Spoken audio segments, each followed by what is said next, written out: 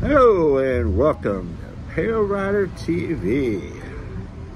What am I up to these days? Well, I know I've been slacking on the YouTube trucking videos. Not that close to trucking these days, but uh, we are planning to uh, get back into making some videos.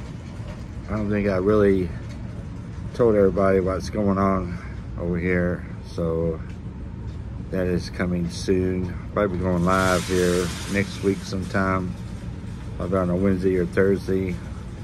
Let everybody know what's been going on over here at Pale Rider TV. But we're still going to be trying to get some videos together and bring them to you. So that's it. What am I doing? Yeah. I'll be at Walmart right now. and uh, that's it. Farthest trucking you can get, I guess.